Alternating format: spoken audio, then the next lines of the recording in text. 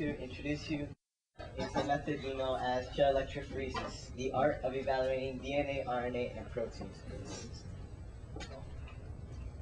Okay, first of all, what is gel electrophoresis? Well, gel electrophoresis is a group of methods used to study DNA, RNA, and proteins dep- depending on size and charge for DNA, RNA, and size for proteins. There are two types of gel electrophoresis, SDS and agarose. Okay, we're getting into in depth, go into the history of electrophoresis.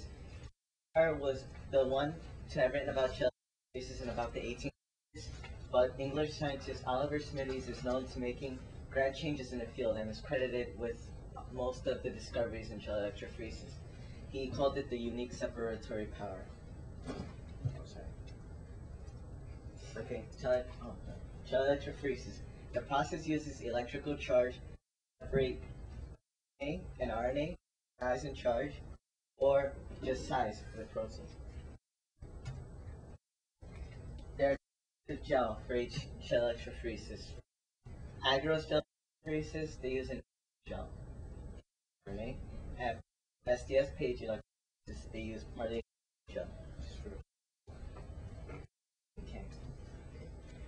Agarose gel.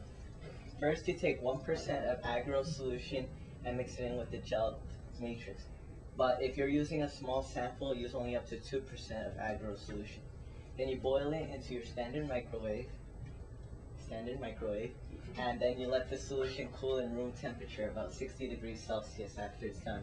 And you should watch out that it doesn't overflow in the microwave. Okay, then you add ethidium bromide, about 1 milliliter of ethidium bromide per 10 milliliters of gel solution. The ethidium bromide is very important because it gives the gel its color later on when you analyze it under UV, UV light.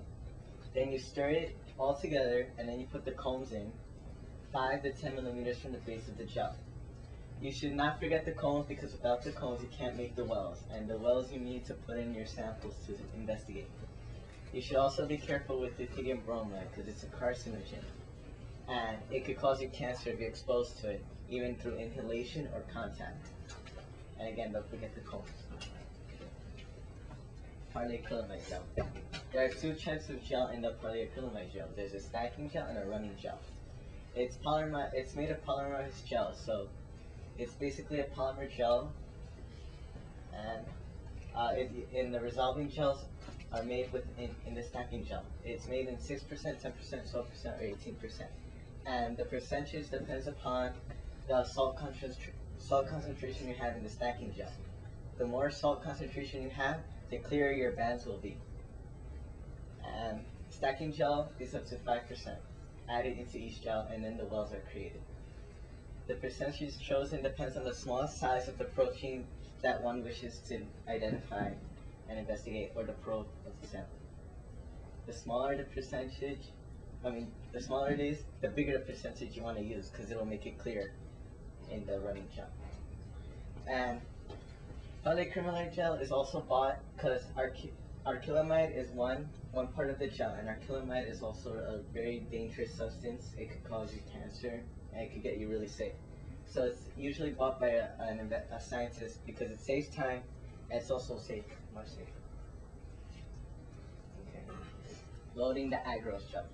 You place the gel into the gel electrophoresis apparatus and you load the DNA samples into the wells. And you must be careful not to poke the gel because if you poke the gel, the samples will just go all over the place. And then you run the gel at such and such voltage, usually 100 volts that we did in our experiment.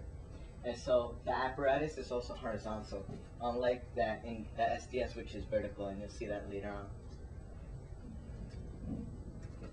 Okay, loading SDS, as you can see, it's also vertical.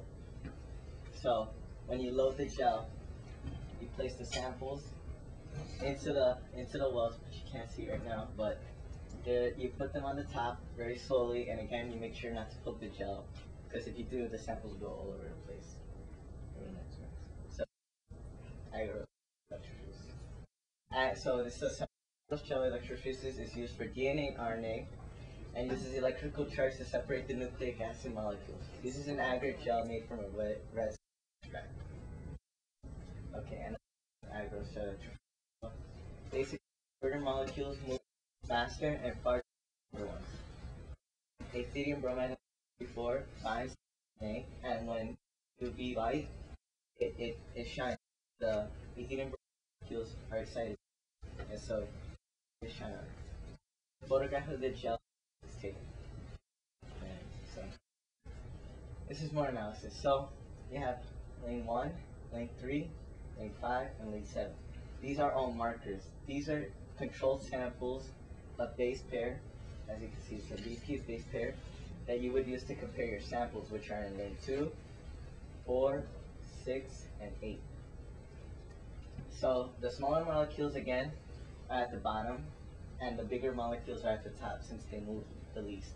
And so the way these markers would be used is that, let's say that you have to find the size of this one, you see it's between the 300 marker and the 200 marker. So you would have to guess it would be about about 250 base pairs. So it's the markers are basically used to estimate the size of a sample. Okay, errors dealing with agarose electrophoresis. The conformation or shape of a molecule can cause its migration to vary. To avoid, you, you should use separately you should separate linear molecules using DNA PCR products or res- restriction digester. So, example is that you have is when you have you have supercoiled, which is all like in a little circle, so it's all huddled up, and it moves faster through the gel since there's like no space within it. And you have linear, which is just basically like a line, linear linear strands of DNA. And you have nicked nicked circle, which is basically it's one side is closed and the other one is open. And so according to that, uh, according to my diagram, nicked circles move slower in the gel that would stay on the top. Linear would move second, and the supercoiled moves deeper and faster into the gel. And voltage could also affect gel electrophoresis because if you use too much voltage, the samples could run off the gel. So it's recommended to use 5 volts per centimeter of gel. Agarose, agarose concentration can also affect the movement of the molecules. So as you can see, these are these are the molecules in different agarose concentrations. So in point seven, you can see that they're not really separated. So it's not really well good to use 0.7% of the solution. But as you can see, 1% is really accurate. But then when you use too much of it, the there is too thick, the shell's too thick, and the molecules can't move through it. So you're really close, and that'll mess up your results. So these factors can your results. And the.